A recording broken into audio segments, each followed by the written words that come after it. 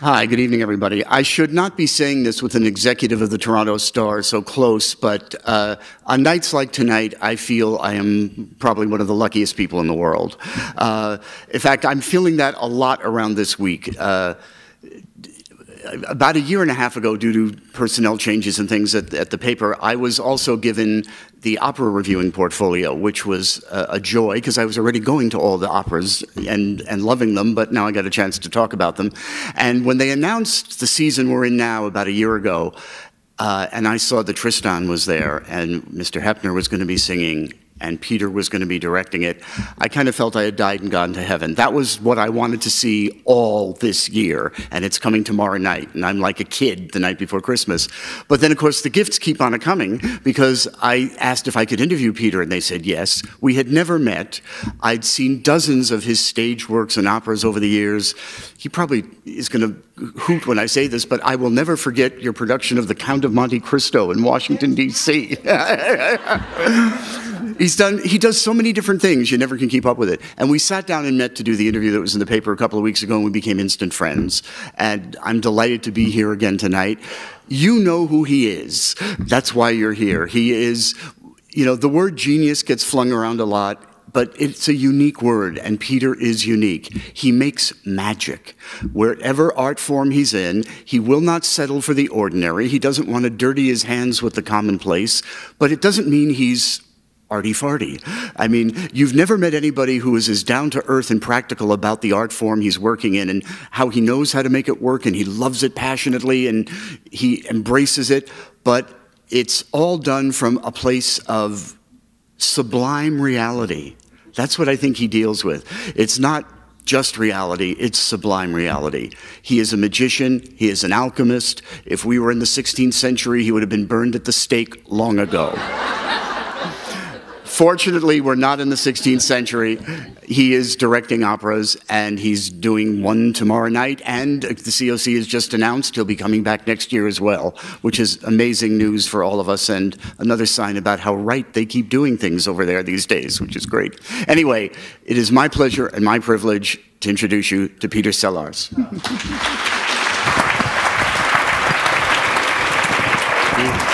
Richard.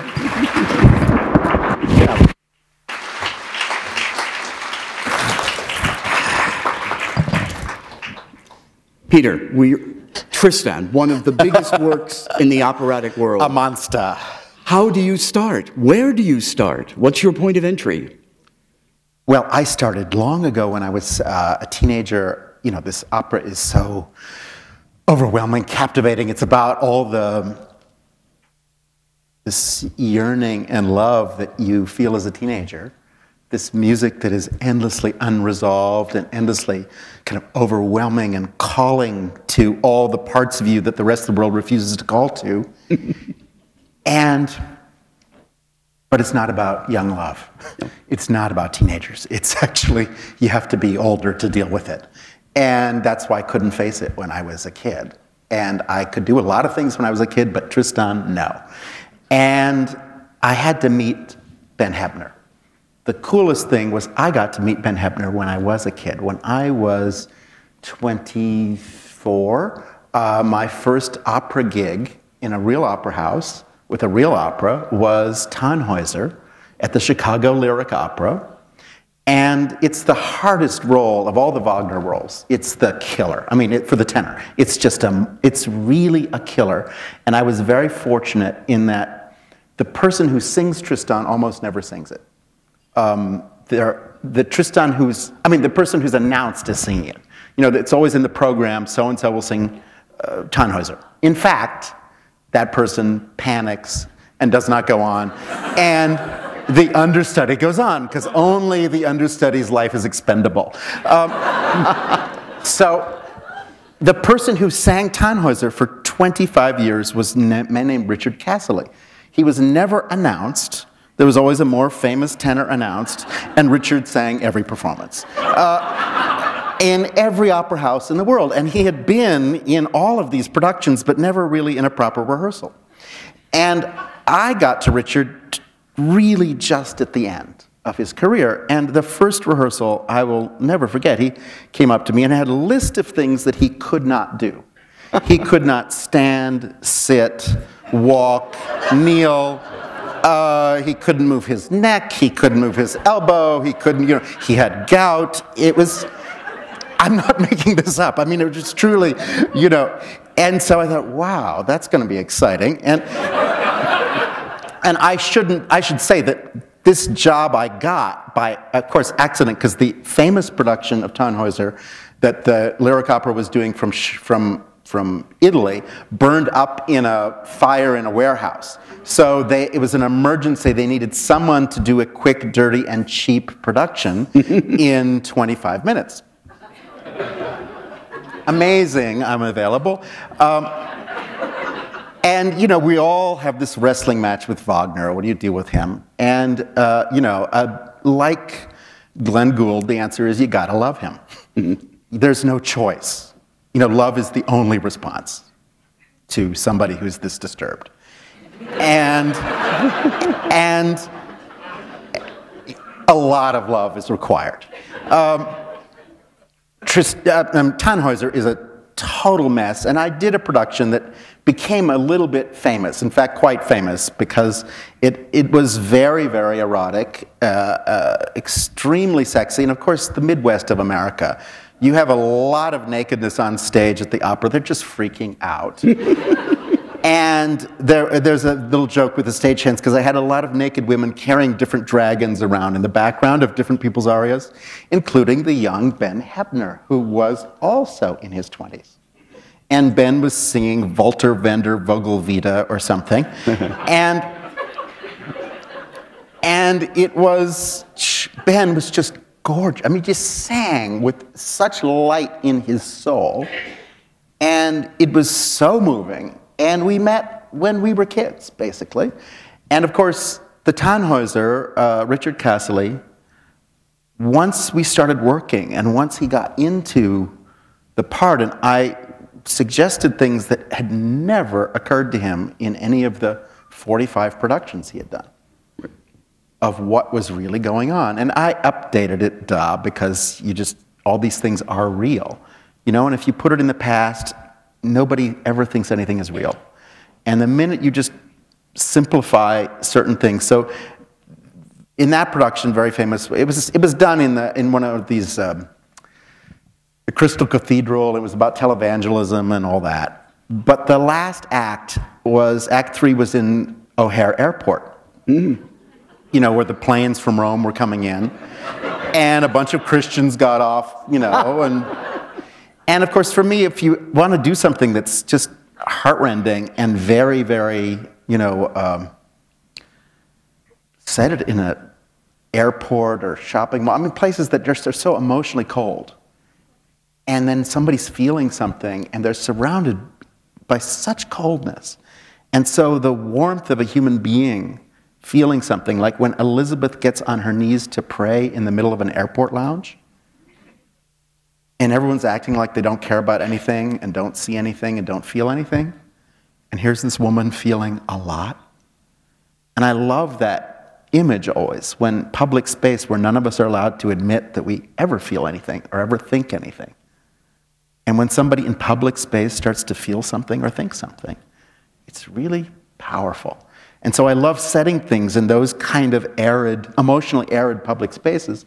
But of course, the other thing is we, we work with beautiful artists who gave us the night sky, the sunset, and into the middle of the night of the sky around O'Hare Airport with all the planes hovering in the sky. And so it was magical. It gave you all of the, for the Evening Star song, mm-hmm. it gave you this just magical night sky filled with things flickering and floating and landing and hovering. And, and you really got the sky filled with these celestial beings.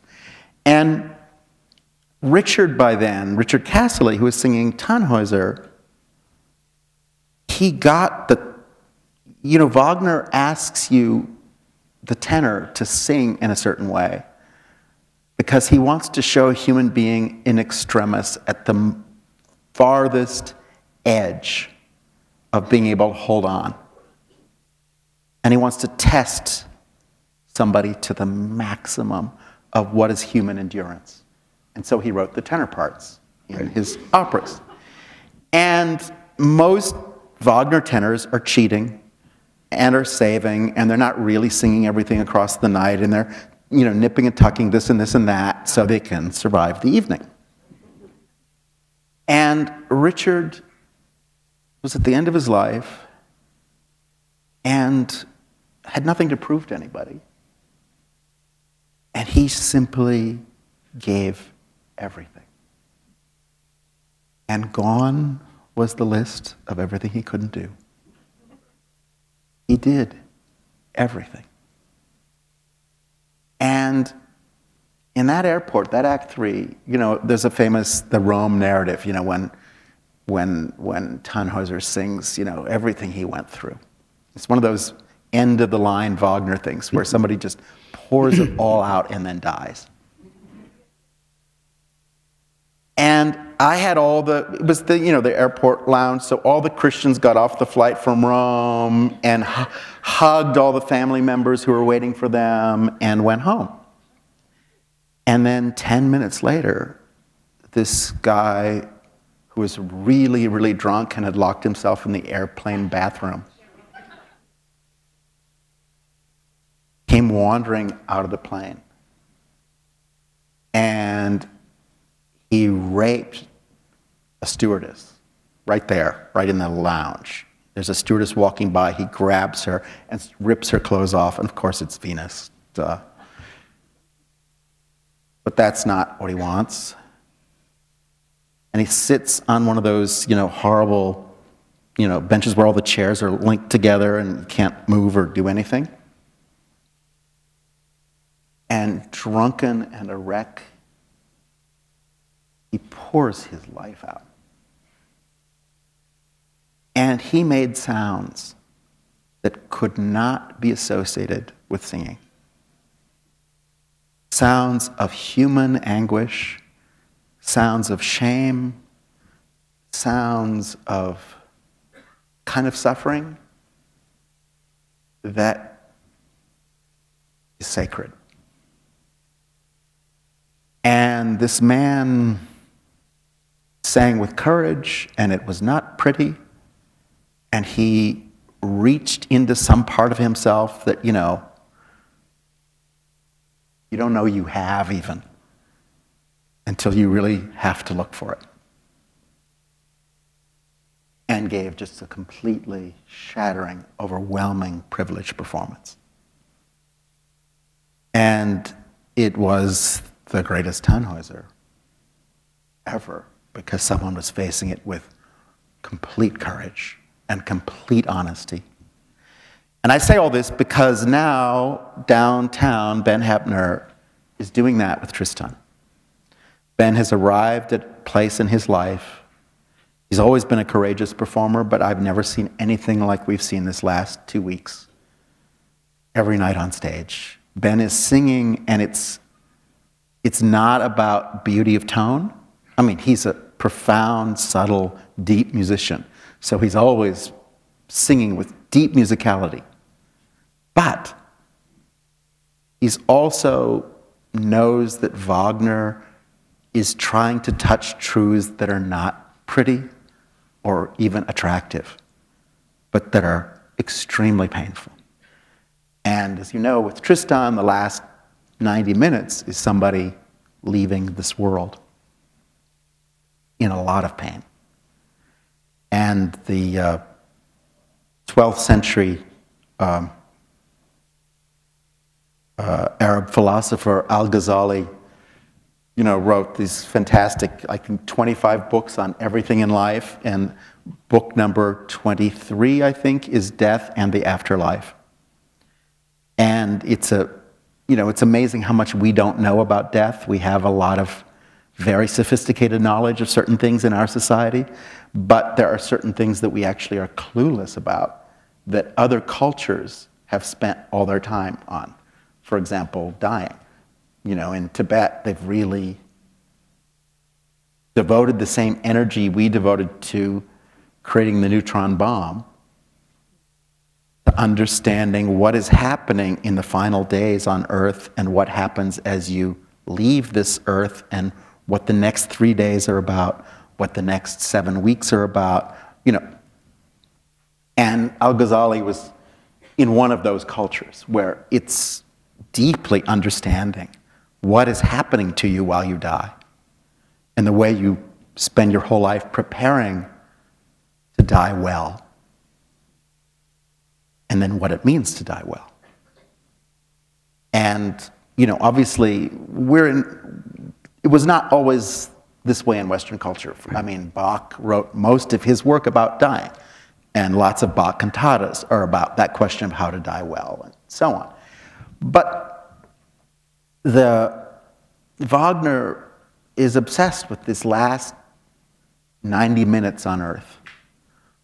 What is that? Al Ghazali, the Arab philosopher, said, described the pain of dying and said, if you could put the pain of dying, what a human being is going through as they're dying, if you could put that pain into one drop, that single drop would melt all the mountains on earth, and they would be dust. That's what somebody's going through. They're in a coma in that hospital bed. You stand there, you don't know how to talk to them, they don't recognize you. They're not moving, or they're moving a little bit, or you don't know. And that's what they're going through. And Ben Heppner creates that sound that sound of anguish, that sound that is filtered through pain, that is cleansing, that is purifying, that is terrifying, and that is the highest moment of courage in a human life. And that's what you're going to hear from this guy. Peter, what, with a, a, spectacular journey like that happening, and it's also opera, as we know, is a very technical form. Yes. And this production we'll get into in a bit is makes incredible use of video too. Yes. But what? How do you, as the guide on this journey, help help Ben or shape or, or do anything in the midst of? And there's an orchestra and a chorus and all the video and all of this. How do you keep to the emotional truth? You know, uh, I mean, you know this, Richard, better than anyone. You know, directing is a service job. You're just there to be helpful. and so, you know, basically, there's just, it's all three words. Will this help? if the answer is no, shut up. and stay out of the way and let people do their work. And if you can think of something helpful, well, then go ahead and suggest it at the right moment. Mm-hmm. Which is usually not the moment you think of it. patience is the most important thing because, first of all, when you're working with someone like Ben, I mean, these are great artists. So they don't exactly need anyone to take them by the hand and show them around. They, I started Tristan, the first time I staged it fully in Paris was with Ben, and he was the one showing me around because he's done it all over the world for 20 years and he knows this piece inside and out, and I did not and he could tell me a thing or two. So, step one is, as always in life, most people in the room know more than you do, so shut up and listen. that works just about any day on any topic. Then, after you listen, one of the most helpful things you can do is ask a question that maybe somebody hadn't asked before. And then Ben can find the answer not about me finding the answer, it's about how would Ben answer that question. And what I'm frequently able to do with these operas that are quote unquote well known, like Tristan, is just ask a few questions that most people haven't asked. And as you know, the more interesting the question, the more interesting the answer. And what happens in opera is usually just the questions that are being asked aren't that interesting. And so the answers that come back aren't that interesting. And the minute you just ask a way more interesting question, the performers come back with way more interesting answers. And these performers are soulful, deep, amazing people. And you just need to invite them to go to a place they hadn't thought of going before. And their excitement in exploring that unknown territory mm-hmm. is palpable. What you don't want to do is tell them what not to do, right? That's super unhelpful. You know, you can say, do not pick up that glass. So every night in the performance, when the, when the performer gets to this moment, she goes, Oh, Peter told me not to do that, which is not a really satisfying performance moment. so, what you want to do is wait and be patient and suggest things to people in a certain way that allow them to have a moment of discovery. Because the reason we all go to theater is to watch human beings discover things. We say, now, how did they make it through this? What got them through it? And you want to be present at the moment where somebody, where the light bulb goes off, where there's this moment and somebody goes, oh, right, you could do this. And so if you tell the performer to do that, at that moment, it will always be something that they were told to do. Hmm. If you don't tell them, and you create the conditions where the act of discovery is theirs, every performance, that moment of discovery is intact as a moment of discovery, and most wonderful performers will, at that moment, in that performance, on that night, discover something else in addition. But what you're doing is you're setting up a trajectory of discovery for everyone on the stage and for the people off the stage, because one of the things I like to do is make the performance as difficult for the technicians as it is for the actors. so that everybody in the theater is having to work very hard to pull this off is having to look and search and hold themselves in a state of real tension. And they can't say, oh, right, I, I know how this is going to go. Every night they say, I don't know how this is going to go. And we all have to be a thousand percent present because something's going to happen that never happened before. And that's where, as we've discussed, I, I think theater is, my favorite theater is like sports. You know, the team goes out on the field that night, both teams go out, and nobody knows what the score is going to be. I love that. Everybody's going to give their best, but we truly don't know what will happen on the field. And you watch human beings rise to their level of, of greatness and their moment of courage and their moment of understanding and their moment of breakthrough. And one of the things I try and do a lot is build the staging around things people are afraid of so that people are confronting something that they are genuinely afraid of. Mean that the actors are afraid of? Or? Yeah, every night. And so that people are having to face something. Well, start with themselves. But genuinely, every night, it takes something extraordinary to make it through the performance. Give us an example. It doesn't have to be Tristan. Well, you know, sometimes what I do is have um, uh, uh, I mean, the image that I have right away is a, a, a performance called The Children of Heracles, uh, where it, we did it in eight countries, and it was uh, immigration and refugees. And we took in each country 27 kids who were being held in a detention center because they're picked up at an airport or you know somewhere of coming in without papers.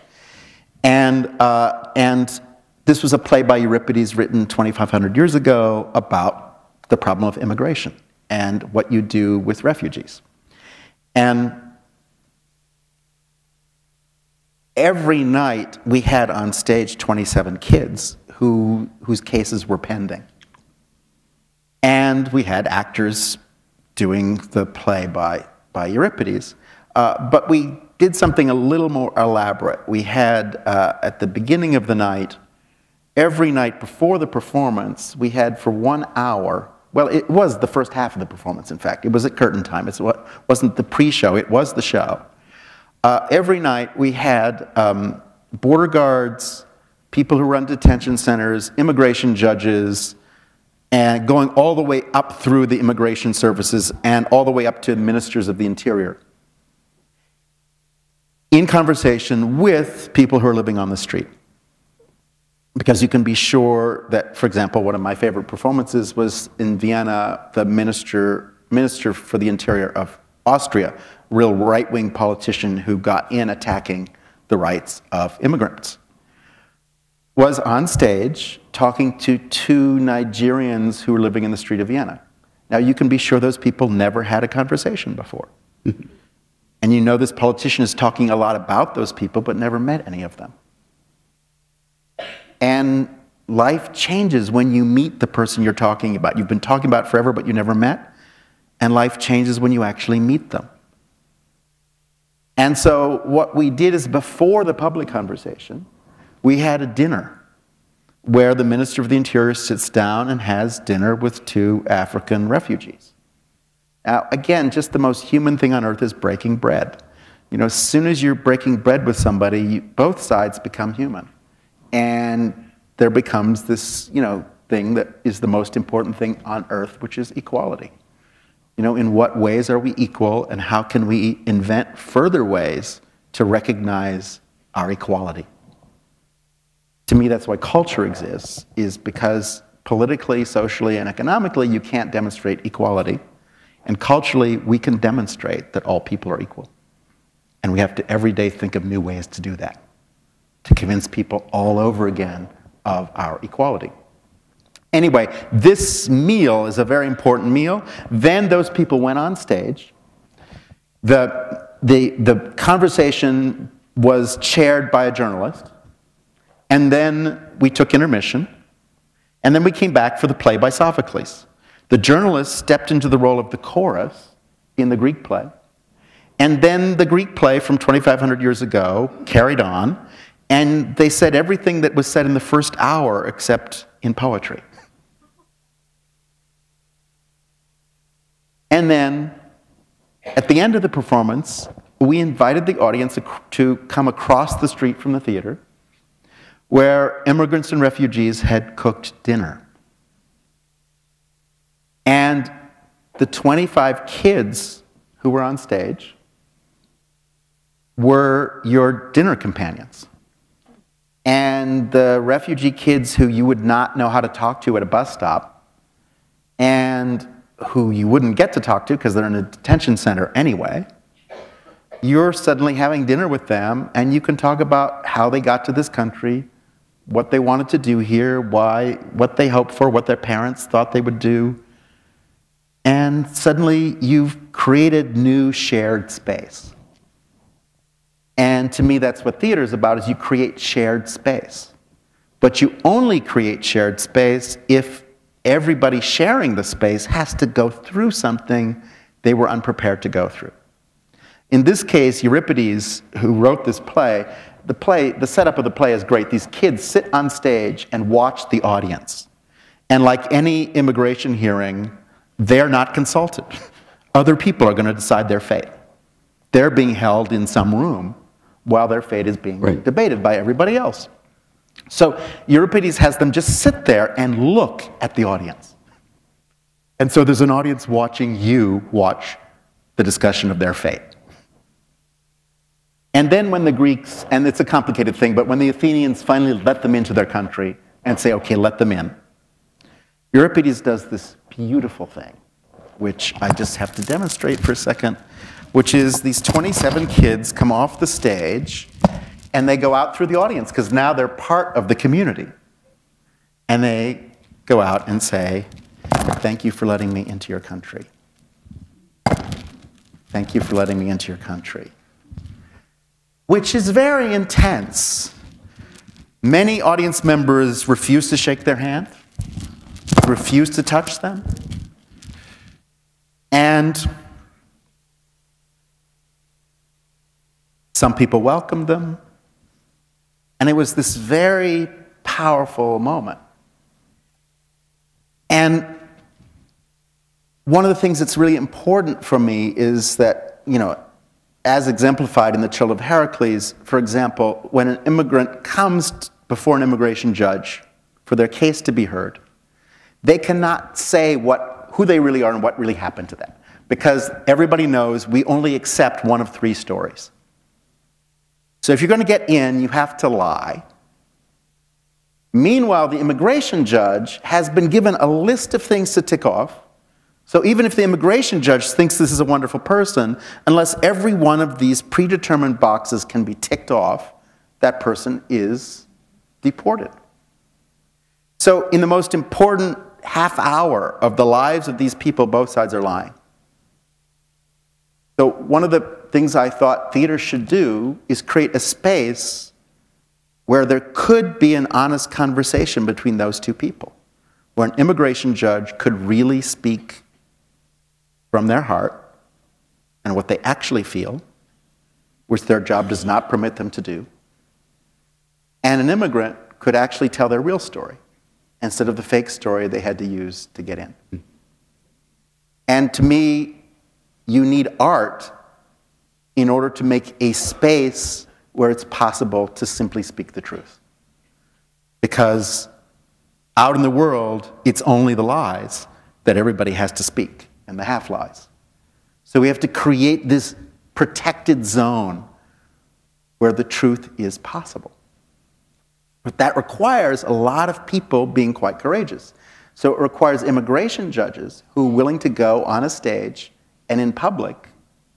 The question I ask each of the immigration judges is what keeps you up at 3 and 4 in the morning? Not the question they're usually asked in the newspaper. And it's amazing what people came back with. It's amazing in an art project what people who are in a complex legal nightmare where they have no space to move. In an art project, we can give people the space to move, to actually express themselves in ways that are quite amazing. One woman from Sarajevo said, well, in theaters here, in America, in the United States, and in um, France, and England, the immigrants had to speak from a secret room in the basement of the theater because they were afraid of being arrested. Mr. Sarkozy ringed the theater that we were doing in Paris with immigration police to check IDs of people going in and out of the theater. It's nice to know he cared. and a woman in the basement of that theater in Paris, an Afghan woman, said, into her microphone as clearly as she could We don't want your money, we just want your freedom.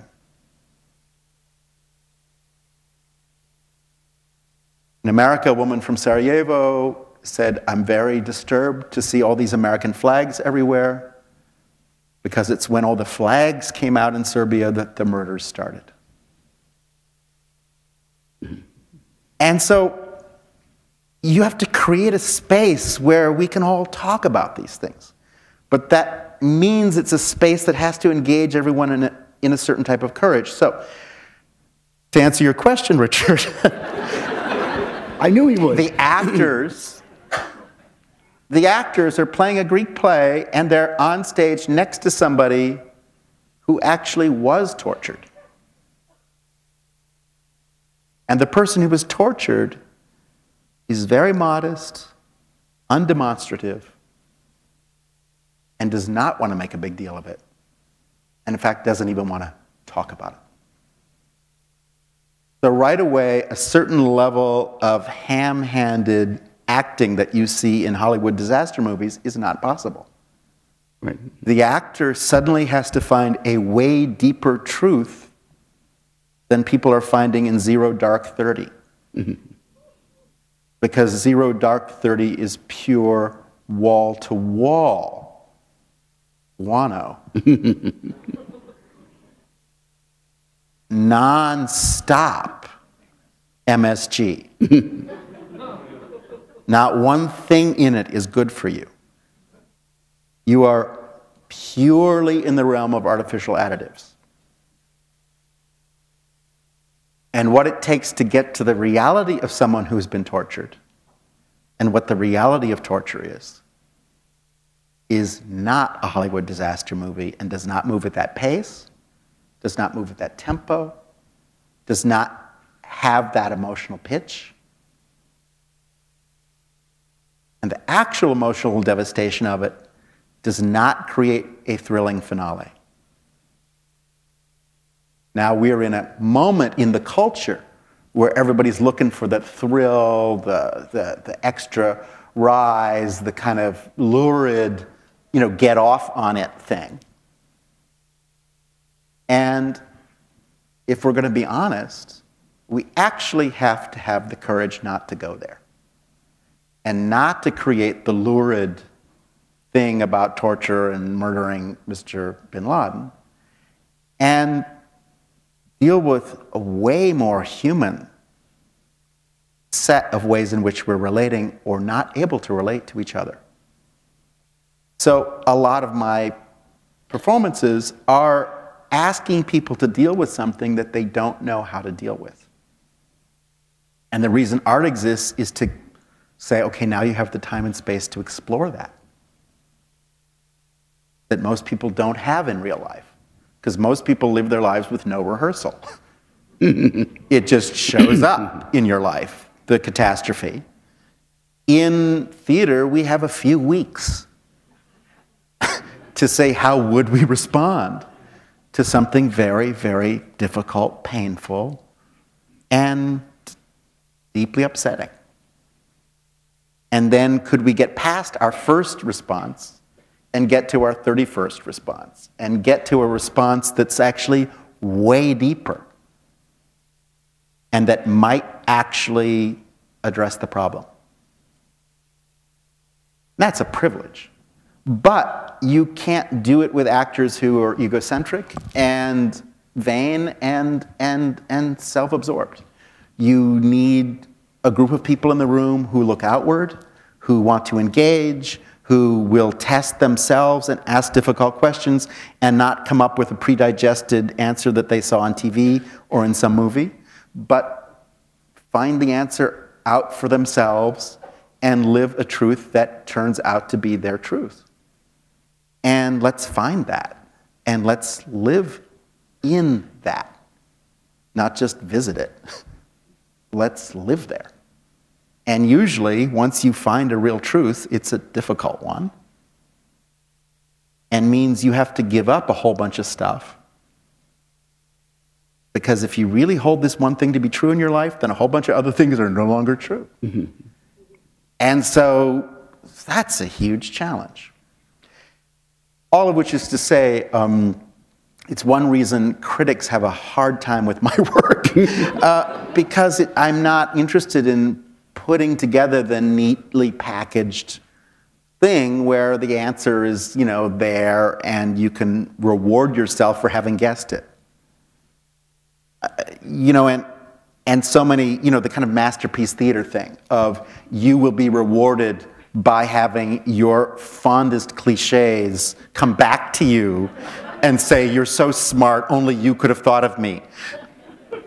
Uh, but the opposite is all the cliches that you ever thought of just fall away. And we're all in this place where we're all, I mean, let's put it this way the great plays like Hamlet or Tristan or whatever are all about issues that the human race has not exactly solved across centuries. That's why it was so powerful with the children of Heracles to put what the Greeks were struggling with 2,500 right. years ago and say, gee, we still haven't got it right either. You know, is that across every century, the human race has struggled with these questions. So I think it's really important to start with the that the starting point, if you said, what is the point of entry? The starting point is none of us have the answer.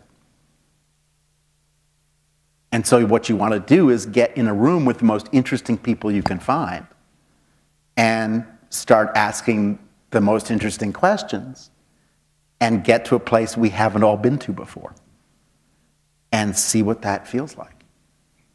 And that's why you, it goes your whole life. And Tristan now, this is the 10th year I'm working on it. And I restaged it this last four weeks and put in a bunch of new stuff that I didn't put in before because I didn't understand it before. And now I understand things in a very different way, and I understand more things than I first understood. And uh, so it's gone to a new place. Um, which is what you hope to do every morning when you wake up. You hope you're going to have another set of ideas every day. Right. That you're not going to, today is not going to be like yesterday. You know, there's going to be something different today that didn't happen yesterday. And the other thing that you really, you know, as the Sufis say, you want people who are really different. You want people who disagree with you. You want people who have different religion, who have a different political point of view, you know, because as the Sufis say, it's like wishing that everybody on earth had the same face. that would be horrible. what you want is everyone to be as different as possible. That's the human miracle. And so, to me, the staging of difference is super important. You know, and is the very thing the politicians are running from is actually the very gift of humanity. You know, is that we are all really different. And that's what makes the project of democracy exhilarating, is that nobody can speak for us, actually. And the more we arrange for us all to speak, which thank God the internet and a bunch of things are now going to open democracy up to another place where it has never been before, where actually you can have this range of voices and range of representation that we haven't previously had. And to me, one of the issues in the arts is that the arts are the last, one of the last gasps of the old, um, uh, the old uh, ghastly uh, top-down uh, fascist empire mm-hmm. of you will only see what the director of the museum wants you to see. You will only see what the director wants. And for me, it's about reversing that flow. And so it's not about what the director wants to see. It's about can we get participation at all these levels that create something that I could never have imagined, ever. And that's the joy, I mean, the pleasure of it is.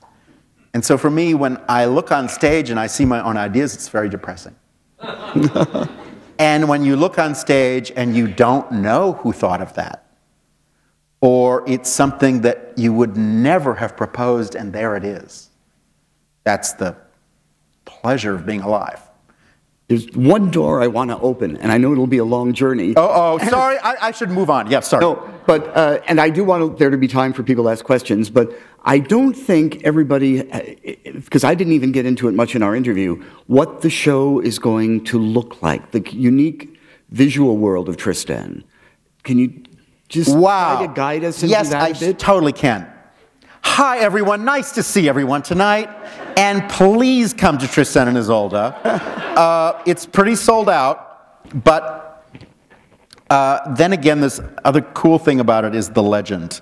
Uh, I actually love it when people talk about something they didn't see. if I could just say, my ideal experience is somebody sees one of my shows and the next morning they call a really good friend and talk for one half hour. And they really hated it, or they really loved it. They're both the same. All they have to do is just talk for a half hour to someone they care about. And then that person calls a third person and tells them about something they didn't see. Because the task is then you become the artist. The person describing the experience becomes an artist. And the person who has the experience described to them and then has to imagine it becomes an artist. And then the person who describes the thing they didn't see to someone is an artist. And, and for me, that's the most powerful thing of like, none of us were there at the opening night of The Rite of Spring, and yet we all know what happened, and we were there, and we, you know, that's the thrill of theater, is actually the legend is more important than necessarily having been there. So if you can only hear about it, that's fine too. Just to say, with Tristan, it's a pretty amazing thing because, um, in fact, Tristan as an opera is undoable. It's uh, Wagner is going outside of theater. He doesn't want to make Tristan another opera or another night at the theater. He knows he needs to make something sacred. He's trying to create a sacred ritual. He's trying to break out of the stranglehold of 19th century religiosity.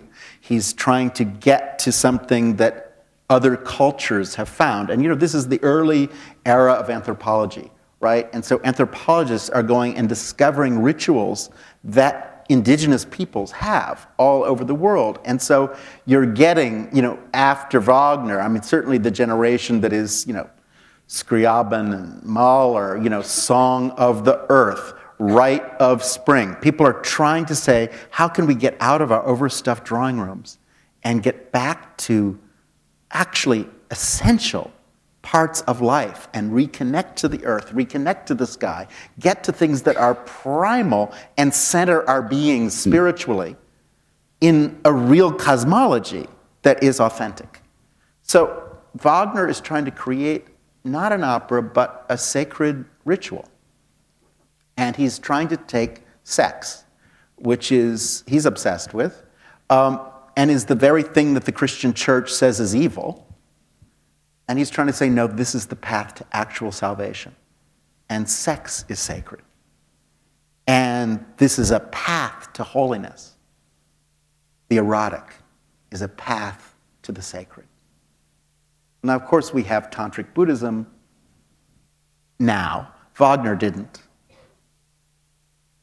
And it was a huge, bold, dangerous thing he was trying to do. Incredibly courageous. And trying to write the music that could create that path from sensuality to spiritual revelation, which is what the project of the music actually is. So it doesn't function as a show, as a play, so in Wagner's Tristan and Isolde, there is no action. I mean, there's three 90-minute acts, and the entire action takes place in the last 90 seconds of each 90-minute act. So that gives you about 83 and a half minutes with no staging. Because there's nothing to do, because all the action is internal. It's all inner voyages that people are embarked on, and these are the most powerful and deepest journey of your life. But they're not that much fun to watch, right? I mean, that is to say, when you had one of the deepest moments of your life, you were just looking out the window for a half hour or an hour, and for you, one minute went by. For someone watching you, there, that hour felt like 12 hours. so, how to stage that? That's the question. How do you watch someone have an inner journey? And what you do is you invite a real artist to be in the room, which is Bill Viola. Wagner was very, very inspired by visual art. And in the case of Tristan, specifically, he wrote the last part of it living in Venice and went every day to the Brera Gallery where he saw a Titian painting of the Assumption of the Virgin, which is a breathtaking painting, huge painting of this woman going up into the sky, which is pink and orange and gold, joyous. And all the people below are sad. Mm-hmm. Beautiful image of everybody on earth saying, Oh, it's the death of the Virgin, it's the saddest day ever. And you see this woman thrilled, her face lit up with joy, angels welcoming her, joyous. And on earth, everyone sad and the colors are iridescent and magical. And that's Wagner's Liebestod. That's, that's where that music came from. That was the real inspiration. And visual artists frequently can take something like that, that you know, you can read about. The Virgin goes to heaven, but Titian giving you that pink turning into that orange, turning into that shimmering, sensuous yellow. Because Titian is the most sensual painter takes you to another place. So, inviting Bill Viola to plunge into this universe, and uh, people know Bill's work here, I'm sure, because it's shown at the, at the gallery here a lot. But the main point is Bill created a new art form in his lifetime. one of the generation, you know, Wagner was always writing about the artwork of the future. Bill actually and his colleagues created an art form that did not exist when any of us were born video. And video is, in fact, you know, we got into this before yes. the other day, you know, video, television, let's face it, is the instrument of the devil. and only Bill could detox it, transform it, turn it inside out, and make it a path to spiritual immanence, which is what his, his works have done. And Bill, like Wagner, stretches time. He goes to the space inside of space and the time inside of time. Uh, one of my favorite of his early works, which is in a way the most Wagnerian, uh, it's a five hour piece, and I think I have the distinction of being the only person who's ever seen the whole thing. Um, Bill took a, a home video of a two year old birthday, two year old's birthday party two year old girl, her little birthday party, and her friends are there and they have hats, and you know, and there's the moment when the cake comes in and you watch these kids light up and then blow out the candles, and the video is about 20 minutes. Bill slows it down to five hours. and he takes you inside every frame, and every frame moves at the space of a slow heartbeat. So it's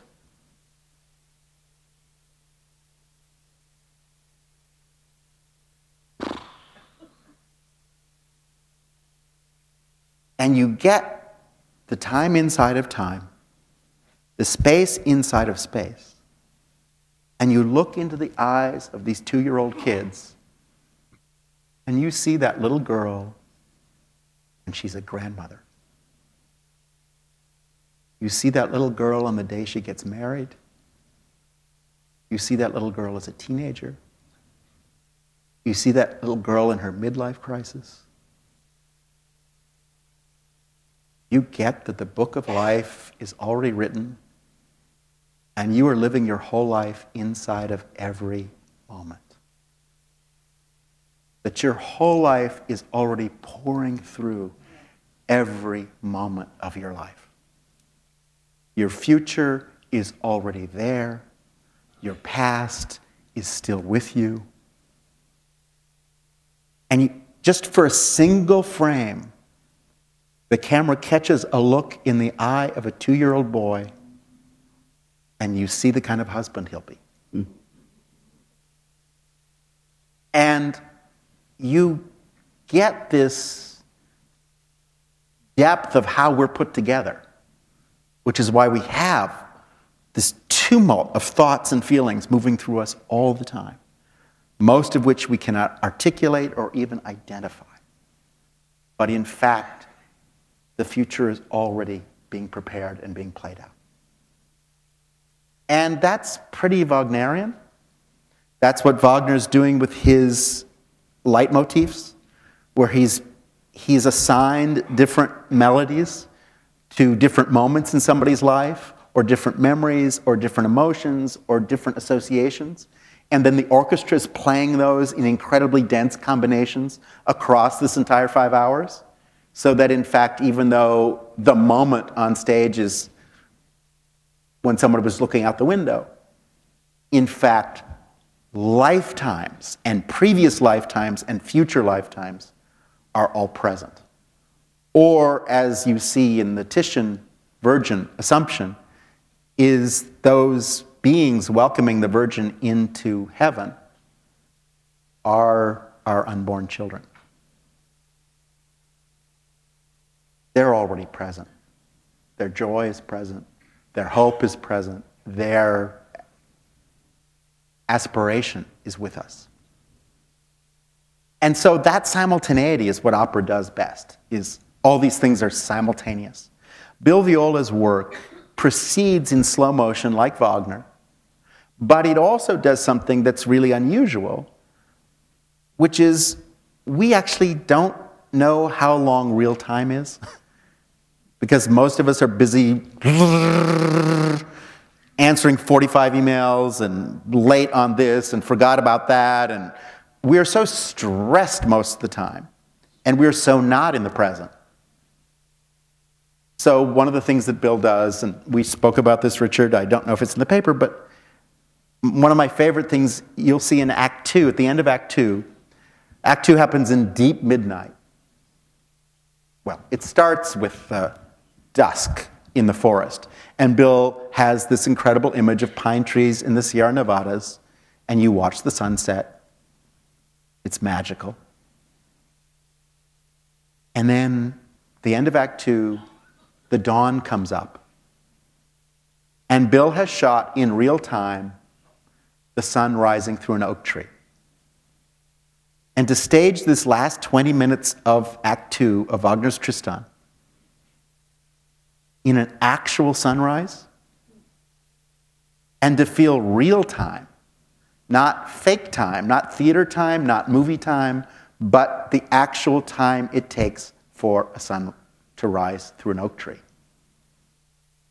Because, of course, in life, we are surrounded every single day by more miracles than we can even take in, by more beauty than we can ever take in. Every morning the sun rises through an oak tree. Every morning there's more beauty than you can possibly process. And when you just stop and recognize it, that beauty illuminates everything you touch, everything you see, everything you think. And so to have Bill Viola bring that beauty of that sunrise onto the stage at that moment. But then, Richard, I don't think I mentioned this the other day. I'm going to tell you a secret. Bill Viola being an artist, what he actually did was shoot a sunset and play it back in reverse. because Tristan, at the end of it, commits suicide. And it's actually the end of his life. It's not a new beginning, it's actually an ending. And so, by showing this sunset in reverse, it has this eerie finality. And you don't know this. I mean, you're some of the few people on earth who will now know this mm-hmm. because I don't go around saying this. But what's incredible in the theater is you feel something. And that's what I love about art is as the audience you feel something that you don't know is there. Nobody told you. But there's something you start to feel just because you're in the presence of something strange. That in fact time is going backwards. In fact, a whole bunch of very intense, strange experiences are occurring. Consciously, are you aware of it? No. Do you feel it? Yes. And meanwhile, Wagner's music is also moving deep in the stream of your unconscious. And it's working with the unconscious, not the conscious, that finally creates this opening into what we call art. Because we all, every day, overstate our rational selves. Most of us claim to be rational, none of us are. And the rational self is the delusional self. and it's better to admit how irrational you actually are and to deal with your irrationality, which is how you make every decision you make, is from the irrational place, not from the rational place. And how do you live with your irrational self and get to know it better? Art is about recognizing your irrational self and living with it and honoring it and actually understanding it again as sacred, as spiritually illuminated, as uh, a moment of knowing that happens in my other favorite time thing, which is Bill Viola's work and Wagner's work, have two types of knowledge. One is something that over a long period of time you begin to understand.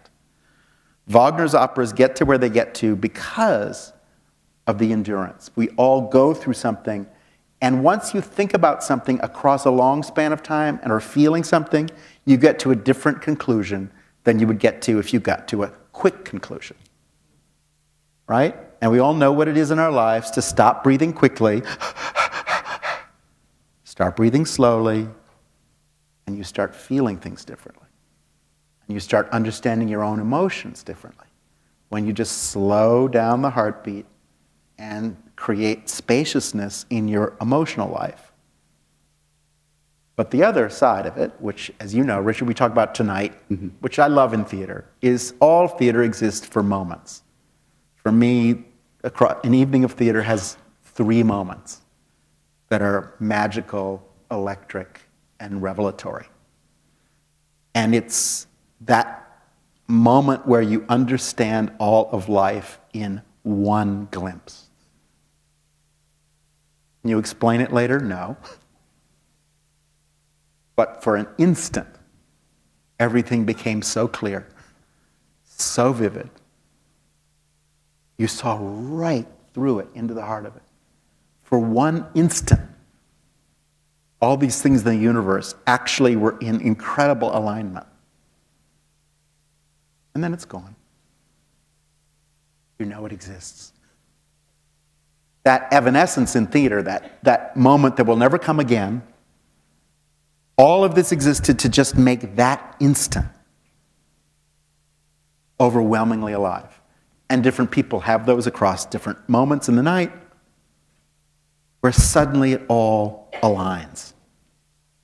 And that kind of knowledge, the knowledge that comes from the moment of recognition, the instant of recognition that's outside of time, just as the slow, gradual recognition, which is also out of time, those are the two types of understanding that we're trying to give you the space to feel and recognize in theater. Let's see if I can get some people at least to ask a couple of questions. I want to ask questions of this guy. This guy is the genius. Now, do you think there's still a place in an opera company's repertoire for the more traditional productions, or should they continue sort of dragging the audience, kicking and screen, uh, screening into the 21st century? you know, for me, there's no difference between old and new. There's only good and bad. and there's good old and bad old, and there's good new and bad new, right? It just has nothing to do, it's like judging somebody by what they look like.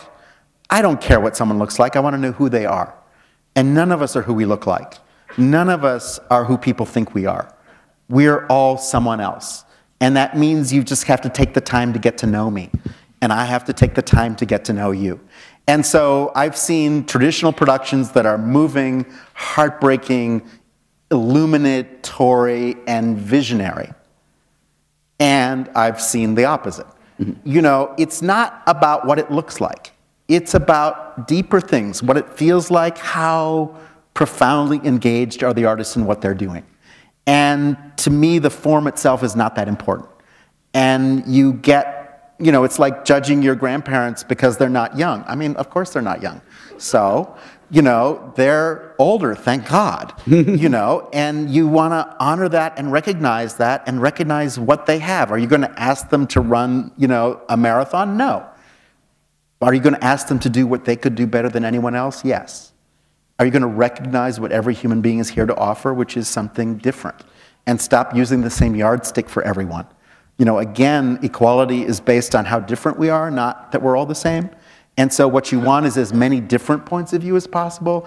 And the definition of a masterpiece is that it continues to mean new things to different people. And what is not a masterpiece is something that has to be done in its own period under very specific circumstances, or else it falls apart. You know, and every generation finds its Hamlet. Every generation, find, because Hamlet says a lot more than Shakespeare thought it said. That's the definition of a great work of art is it means more than the author imagined. Great. Thank you. Good. Sir. Hi. Uh, first, I just wanted to thank you for making the time for being here tonight. Uh, you're you're a total trip. Like it's it's a lot of fun just just taking the journey with you as we talk about art. So a couple of things I wanted to ask, um, or, or to, to, if you could take our, our heads to. Uh, one has to do with um, talking about the nature of art. I mean, what you said actually, it, it replicates what Duke Ellington used to say about music, right? It's good, there's bad, there's no in between. Regarding art and creativity, and you've had a, a panorama of experiences, I'm curious to know where do you go to actually clear your head before you go and take on these challenges because they're monumental and, and they're, they're, they're um, just as you were talking about uh, Helden tenors who are incapable of actually uh, uh, stepping up to the plate to perform. The, the, same is true, sir, with the type of work you do. It's, it's, no, uh, it's no simple feat. And so I'm just curious wh where, where you go. And a question for the two of you. Um, thanks again, Richard, for doing this. Uh, I just want to know, just for the hell of it, guilty pleasures. Share some of your guilty pleasures with us. Thank you. This is going to get lurid. No. Uh, uh, one of the most important things in my life is to spend, uh, hopefully, most of my time not in a rehearsal room and not in a theater. So a lot of my life these last few years, uh, this year uh, will be is in Africa. I'm particularly try every other year to go to the Congo, every other year to be in Ethiopia, to be in South Africa, to be and I've just this last two years started going to Beirut a lot and to be in places where history is actually being made, where these are all real issues. You know, it's one thing for people living nice, comfortable lives to stage a Brecht play about war. It's another thing to be in Mali right now. And, and I've spent a lot of the last two years in Mali. And so I'm getting a different war report than the BBC is broadcasting and what it means when you are yourself with people who are going through very intense, life changing experiences and are themselves creating new history. Then you come back to a rehearsal room, first of all, with gratitude that such a thing even exists, and with the deep, deep seated sense of it's urgent to be able to find and communicate new truths and to say certain things aloud that a whole bunch of people do not have a microphone to say. So, to me, it's always important in your life to keep what is urgent and what is not urgent very clear. And to recognize what theater was invented to do, which is a way to say difficult things without hurting anyone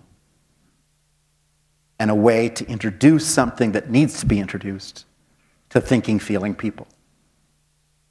So that is a very big part of my life, and I, I don't want to exaggerate it and be melodramatic. I just want to say that's, a, that's what I do as a refresher. And when you're in Eastern Congo, you first of all, learn the beauty of human beings, because here are people who should not still be alive, and they are alive. The city I go to, I, I go to support the work of an artist named Faustin Linyekula is Kisangani, and as many of you may know, it's the kind of city of tears in Africa. At least 2 million people were killed there in 2001, 2002. And the city is, every single building is burnt, broken, and every single family lost people, and the Congo River there is a mass grave. And there, people care about peace because they've seen the opposite. And the healing process and what it takes to heal and what it does mean to have productive, meaningful work for a new generation is very, very, very vivid. And it's a place where until very recently, there weren't many white people because all the NGOs left. And so it was a very uh, quiet place. No, no trucks, no, just bicycles and people walking. And very,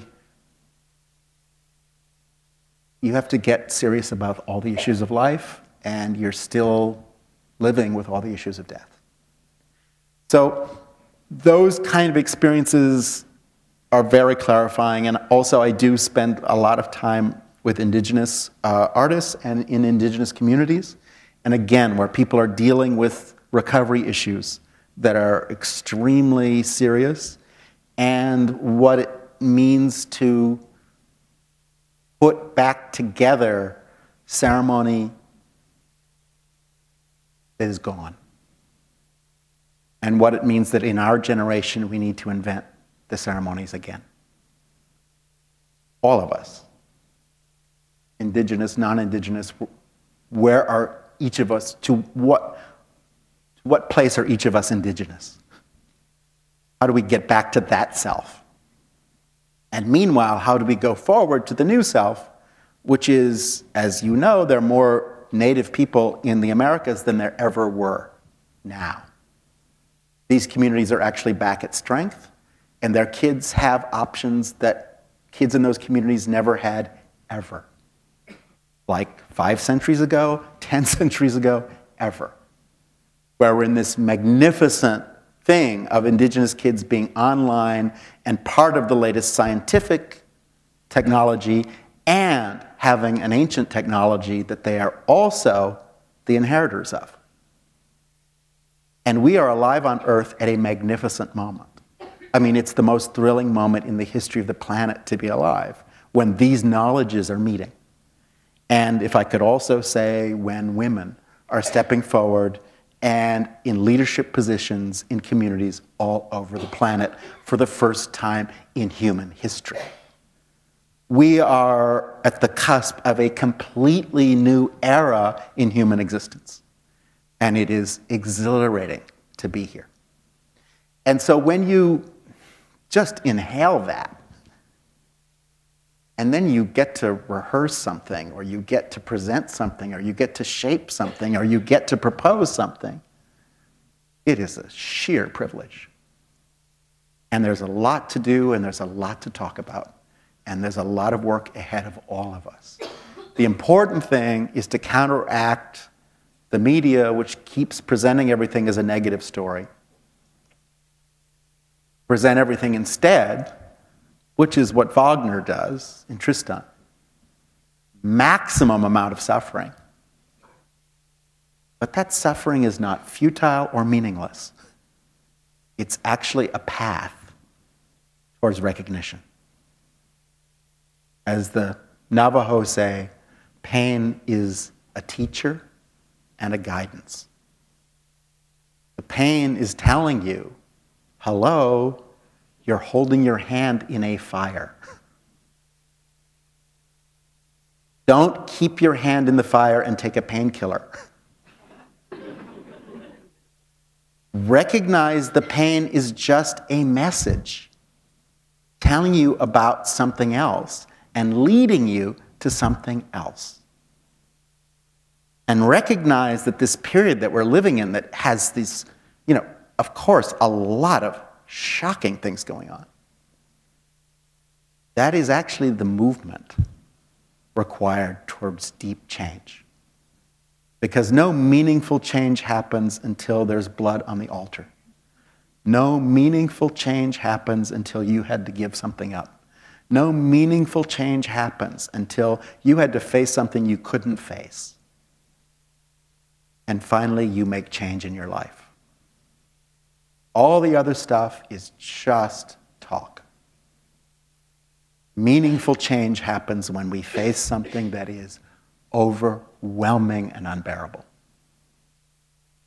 And we're being set up for real change.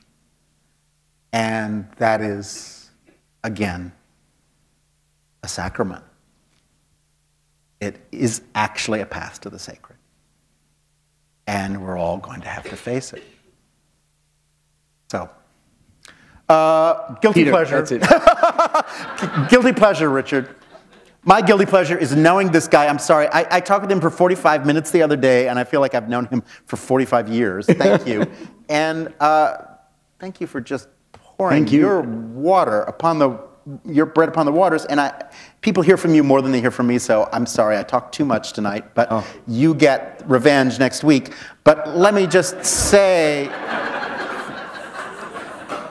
Uh, thanks for coming out, everyone. And I will just mention one thing is I am coming back to Toronto next season, as Richard said, and that's a project I really want people to come to. It's Handel's Hercules. We did it for the first time last year in Chicago with veterans coming back from Afghanistan and Iraq. And it is a really overwhelming project of Baroque opera meeting post-traumatic stress in a very real way. And in fact, what people didn't get is why this music has to repeat. And in fact, you perform this music for soldiers. and it enters their lives in just incredible ways. And just to say very simply, in Chicago when we worked on it, you know, one third of homeless people in America are soldiers, are people whose lives were destroyed and they couldn't put them back together again and they're living on the street. And so a lot of our work we did as we were preparing and rehearsing Hercules, Handel's oratorio, was in, in homeless shelters in West Chicago, and we worked across the whole city with a lot of veterans. And to have an opera performance, to attend an opera performance with soldiers, is a really profound experience. To have a Marine hear a countertenor for the first time and say, when that person started singing, I thought it was the sound of blood coming out of his mouth. Now, they don't tell you that in music appreciation class. Mm. When one of the veterans said, couldn't stop at the end of the performance, he was really weeping and weeping, and the thing that moved him were the super titles. He said, all my life, I'm thinking these things, but I can't say them, and nobody who sees me knows that I'm thinking them.